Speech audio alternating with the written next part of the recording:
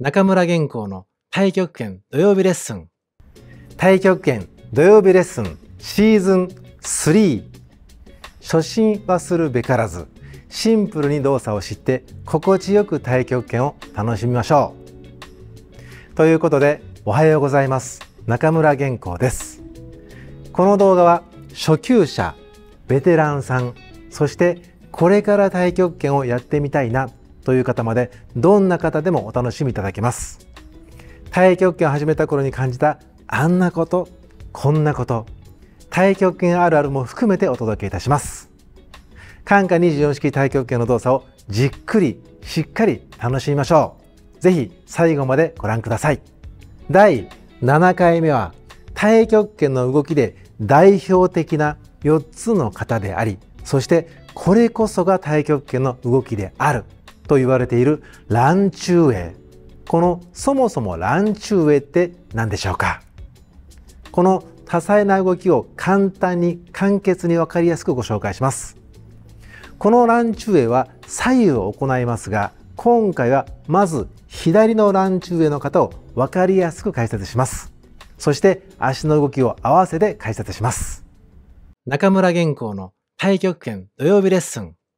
はい。では、乱中影のまず一つ目の動き。これは中国語でポンと言います。ポンというのは直訳しますと丸く膨らむという意味でございます。このポンという動きは基本的には2つの動きです。ではやってみましょう。鏡面で行います。こちらが皆様の左、こちらが右となります。では両足は自然に肩幅ぐらいに開いて膝も腰も自然に緩めてください。では、胸の前、正中線でボールを抱えます。右手が上、左手が下の状態で正中線でボールを抱えてください。ボールを抱える基本は、このだいぶ前のイエマーフェンゾンと全く一緒です。必ず自分の正中線でボールを抱えて、上の手の高さはちょうど脇の高さのあたり。そして下の手は手のひらを若干自分の方に抱えるようなイメージを持ちながら片腕の前に構えます。では、このまま腰を右へ回してみましょう。では、上の手は下に自然に下に押さえていきながら、下の手は丸く胸の前に持ち上げてください。これが乱中へのポンです。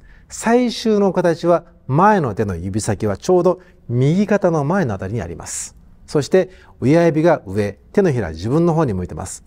指先から肘までのこの関係は少し肘が下に落ちているかなっていう感じです。イメージとしては指から肘までこの腕の前側全体で丸く前に膨らもうとしているような感じ。膨らんでいるような感じでこう張り出してください。これが乱中へのポンという形です。では、もう一度やってみましょう。右手が上でボールを抱えますね。上の手柔らかく下に自然に押さえながら、おへそ正面に向けつつ、下の手ゆっくり持ち上げて、胸の前に丸く張り出して完成となります。これがポンです。そして次、二つ目です。リーと言います。中国語では竜と言います。ちょっと中国の竜という言葉は日本語で発音しにくいので、日本語では D と言った方が分かりやすいかと思います。では、まず一つ目の動きですね。ここから行きましょう。まず、斜め方向に。上の手は手のひら下向き。下の手のひら上に向けましょう。そして、このように腕を掴んでる感じ。上から下からちょうど腕を掴むようなイメージを持ちながら斜め左方向に向かってこのような形になりますね。この形に先ほどの形から移っていきましょう。では胸の前丸くポンから始まりますね。腰を左へ回しながら手首を返して自分の正中線でこのように腕を掴むようなイメージです。この時に肘が張ってしまわないように肘を下に自然に下ろしてゆったりとした感じでこの腕を掴むようなイメージをしてください。ではここから行きましょう。そのままゆっくり自分の方に引き込みます。スーッと自分の方に引き込んでください。ちょうどお腹の前のあたりですかね。まで引き込みます。この時に少しずつ腰を右へ回します。この感じです。こういう感じですね。これが D と言います。少しこれはポイントがありまして、まず斜め左方向で腕を掴むというイメージなのですが、必ず自分の正中線で腕を掴んでます。正面で見てみたら必ずこのように自分の真ん中正中線で腕を掴んでいるような感じ。これを腰が回っているから斜めの方に向いてるわけであって、自分の腕でですね、斜めに向いてるわけではありません。これどう違うかと言いますと、下の手の脇が詰まっちゃうんですね。ですので、必ず正面に見てみて、自分の正中線で腕を掴む感じ。これを腰を回して行っているというところです。そして二つ目のポイントがあります。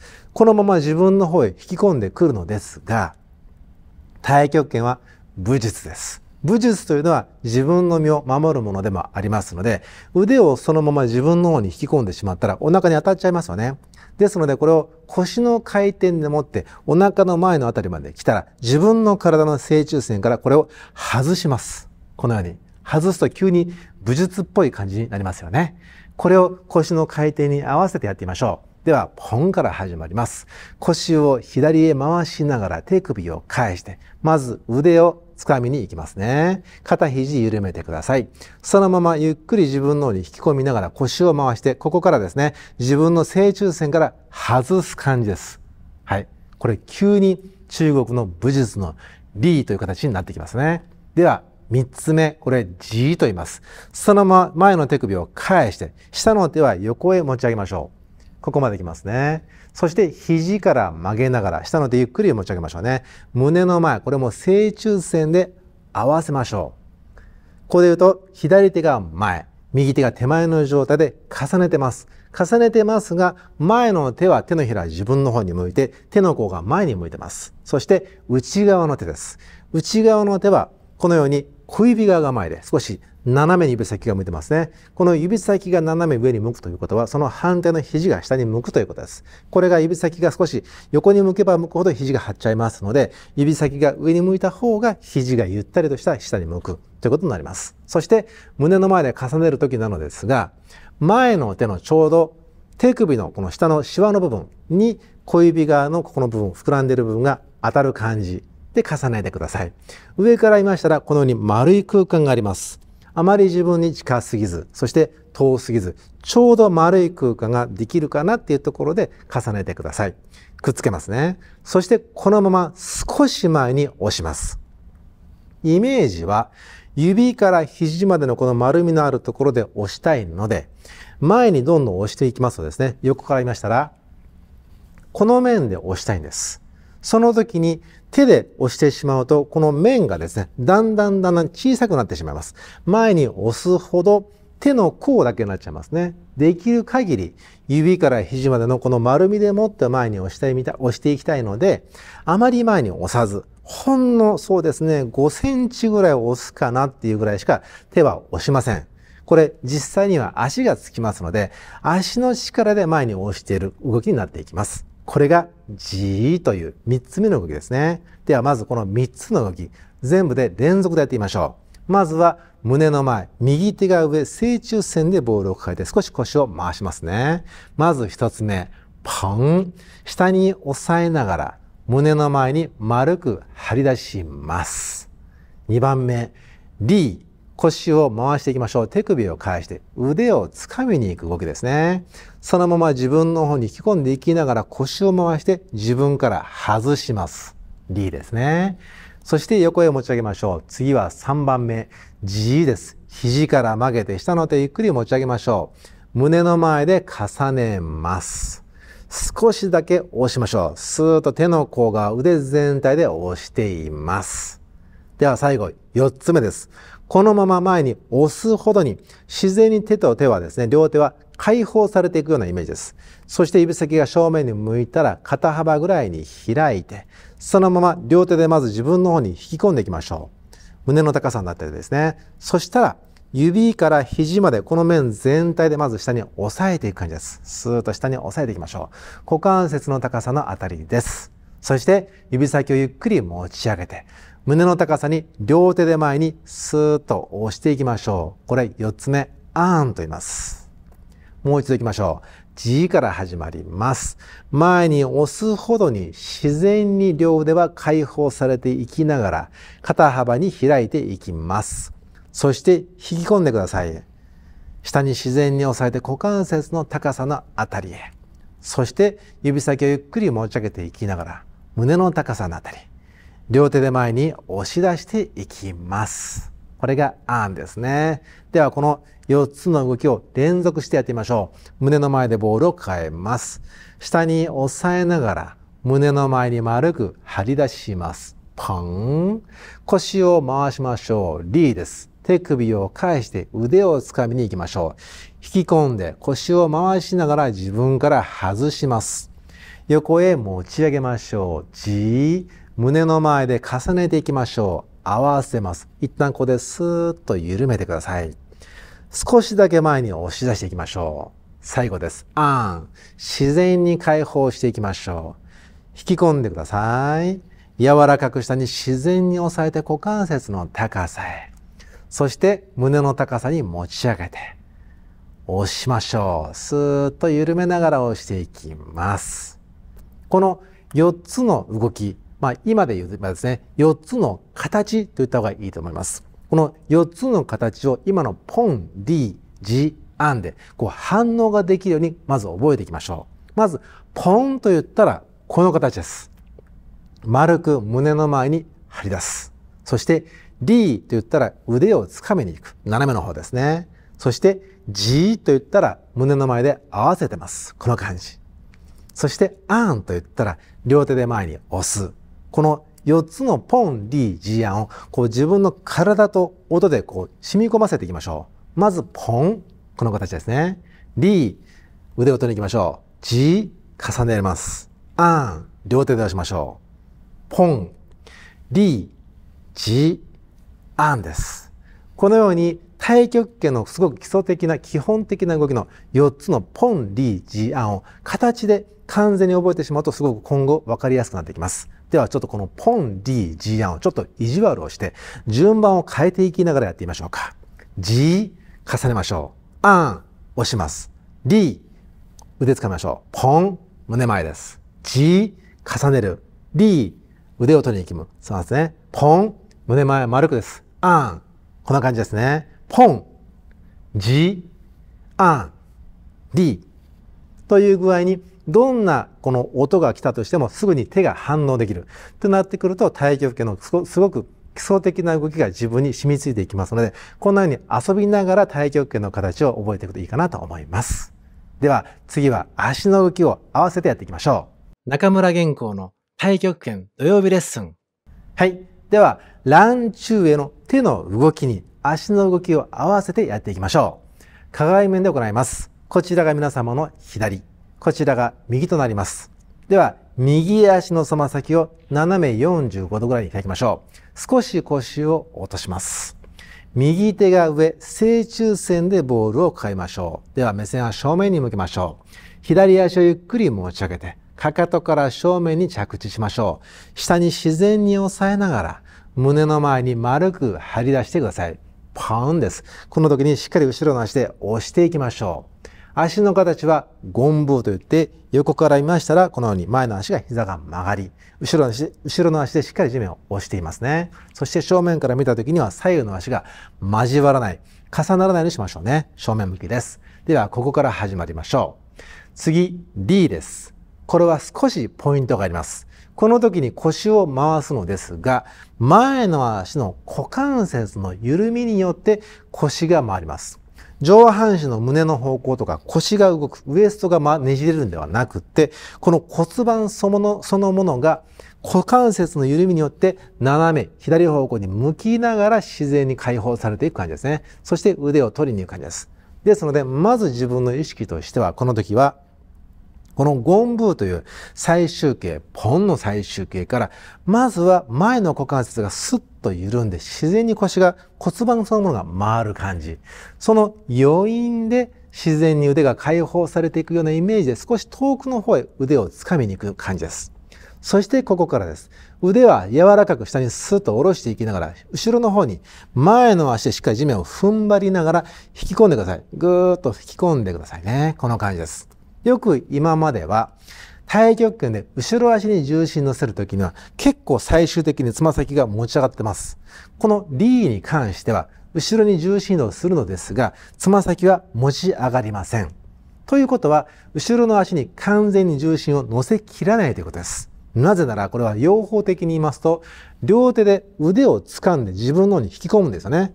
この引き込む様の時には、前の足で踏ん張って腕を引き込んでます。この時に完全に後ろ足にこう体重乗ってしまうと前の足で踏ん張れなくなってしまいますので、両方的に考えたとしても腕をしっかり自分のに引き込むには前の足でしっかり踏ん張るために前の足のつま先は浮きません。さらに言うと、後ろの足に完全に乗り切らないということですね。これをイメージしながらもう一度やっていきましょう。ポンからです。腰を回しましょう。股関節の緩みからです。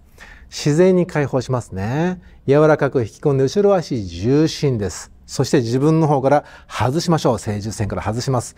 横へ持ち上げます。この時に完全に前の足はしっかり地面にくっついてますよね。そして肘を曲げながら下の手を持ち上げましょう。胸の前に合わせます。G です。先ほど手では約5センチぐらいしか押さないと言いました。この時に後ろ足にまあまあ重心が乗っていますので、手はほんの少し前に押しながら、ほとんどこの重心移動だけ、後ろの足で地面をぐーっと押すだけで前に、このように押すようなイメージを持ってください。もう一度いきますね。D から始まりましょう。自然に引き込んでください。自分の正中線から外します。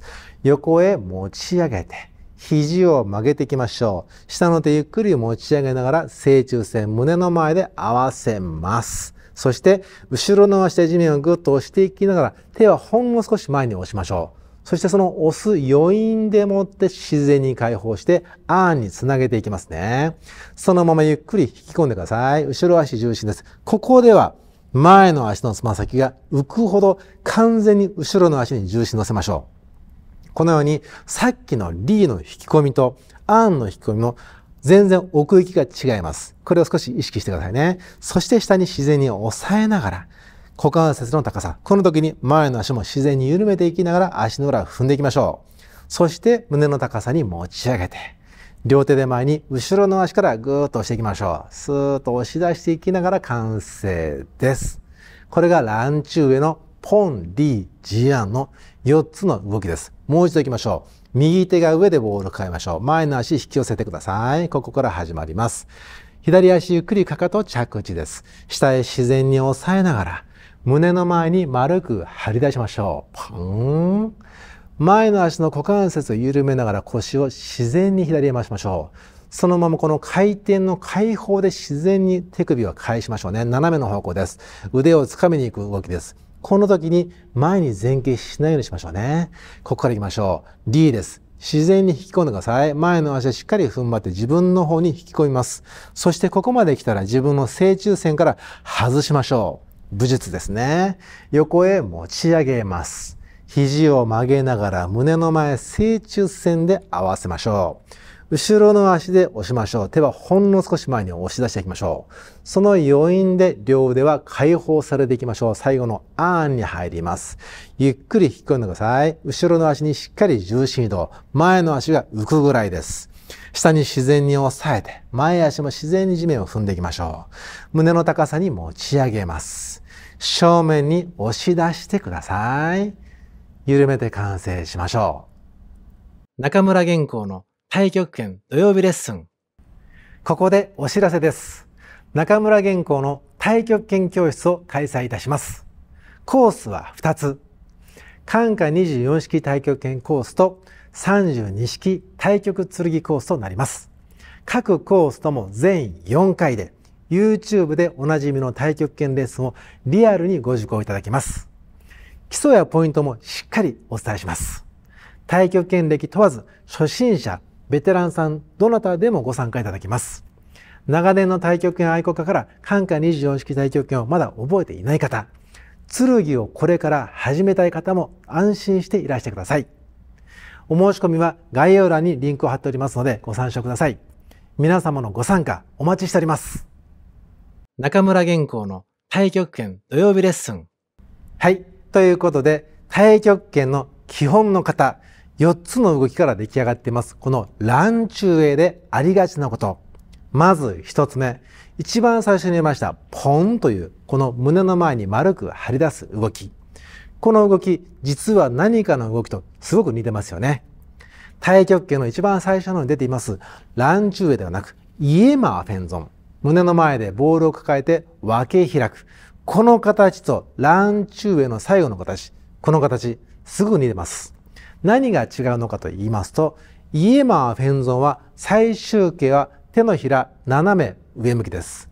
この形ですね。そしてランチュウエ、今回のランチュウエのポンは手のひらは自分の方に向いています。まずは手のひらの角度が全然違うということ。これまず一つ目。そしてランチュウエのポンとイエマーフェンゾンの大きな違いは、これ正面から見ると結構わかりにくいのですが、距離が全く違います。横から見ましたら、ランチュウエのポンは、このように指から肘までで胸の前に丸く張り出していますので、結構自分から近いんですよね。そして、イエマーフェンゾンは、肩、腕、親指側全体を使って前にこう分け開いていきますので、結構遠く前の方まで手が行きます。イエマーフェンゾンの前の手はこれぐらい。よくわかりました。よくわかりますね。そして、ランチュウエのポンはここです。もう倍ぐらい違うんですね。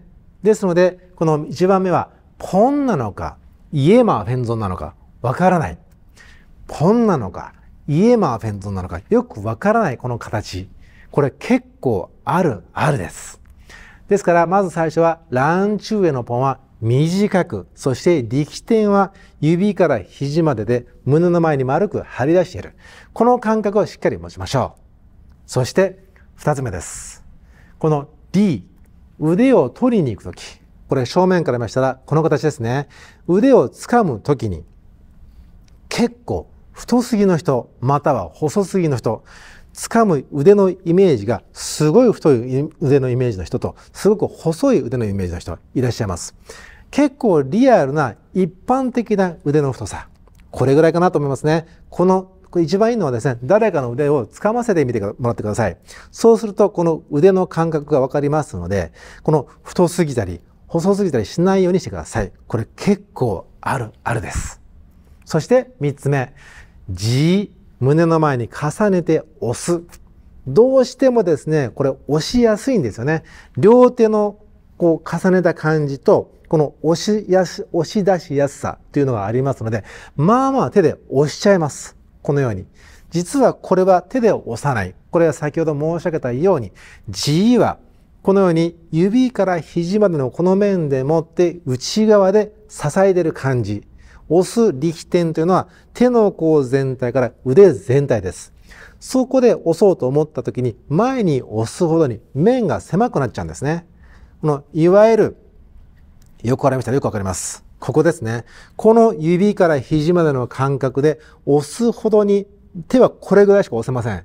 これよりも前に行っちゃうと手首だけになっちゃうんです。この面だけになっちゃいます。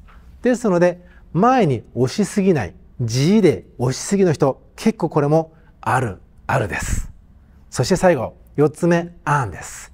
胸の前でこのように解放した後ですね、引き込みましょう。下に自然に押さえます。ここまですごく良いと思います。そして次です。両手で正面に押します。この時に下に押さえてから、この指先の方向が結構早くに上向いちゃう人います。上向くということは横から見た時にこんな感じですね。引き込んで下に自然に押さえた時には手のひら下向きです。そこからもう一度持ち上げて、ここからはですね、自然に指から肘まで、この面を使って押していきない、いきたいのですが、手のひらで前に押さなきゃいけないと思えば思うほど、先に指先が上がってしまって、このように、ここでですね、なんかこう拒否してるみたいな感じ。このように、ちょっと待ってみたいな感じになっているような人、結構あるあるです。ですので、このように下に押さえた後ですね、胸の高さに持ち上げた時には、この指から肘までのこの面をイメージした状態で腕全体で押していきながら、そして前に押すほどに手首が徐々に収まっていきながら最後は手のひらだけで押していく感じ。間違っても胸の前でこのように手のひら全体でこう手首が収まって手首が緊張してしまって押さないようにしましょう。これも結構ある、あるです。このランチュウェイ、ポン、リー、ジアン、それぞれ様々な要求というかま、コツがあります。まずは一番目に申し上げました。ポンなのか、イエマーフェンゾなのか、これはっきりしましょう。そして二つ目の D の時の腕が太すぎたり細すぎたりすること。そして G が両手で前に押しすぎないこと。そして最後の案の手首を最初に緊張させないことです。自然な感じ出しましょうね。このあるある、ぜひ意識しながらやってみてください。中村原稿の太極拳土曜日レッスン。はい。ということで、乱中へ、左の乱中へをやってみましょう。ポイントは、区別する。イエマフェンゾンか、本か。そして、ちょうどいい太さ。この感じですね。そして、三つ目は、足で押すでしたね。では、これを踏まえながらやっていきましょう。では、鏡面で行います。こちらが皆様の左。こちらが右となります。では、両足を揃えて、自然に緩めて立ちましょう。ちし、左足を肩幅に開きます。真ん中に重心、緩めましょう。息を吸いながら、両腕は肩の高さへ持ち上げます。肩肘手首の順で緩めて、吐きながら下へ自然に押さえて、腰を落とします。左足に重心腰を右へ回して、右足つま先斜めの方向へ。右手が上でボールを抱えて、右足重心左足を引き寄せましょう。正面にかかと着地。下へ自然に押さえて、胸の前に張り出しましょう。パン。前足の股関節から緩めて腰を自然に左へ解放していきます。柔らかくゆっくり引き込んで後ろ足重心移動です。しっかり前の足踏まれましょう。外しましょう。D ですね。横へ持ち上げます。肘を曲げて、胸の前に合わせます。G。後ろの足で押していきましょう。手は少し前に押し出して、その余韻で自然に解放していきましょう。緩めます。アーンですね。後ろ足重心、ここではしっかり後ろ足に乗せてください。前足浮きます。下に自然に押さえて、アーン。胸の前に持ち上げます。両手で前に押しましょう。もう一度行きましょう。後ろ足重心、両手首を緩めます。腰を右へ回して、右手が上でボール、前足引き寄せてください。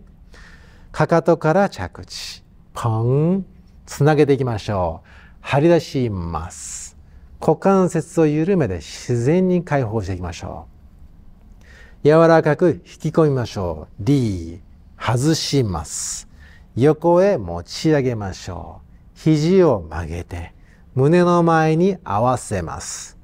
G、後ろ足で押し出して、自然に解放していきましょう。ゆっくり引き込んでください。しっかり前足持ち上げましょう。下へ自然に押さえて、胸の前持ち上げましょう。あーん。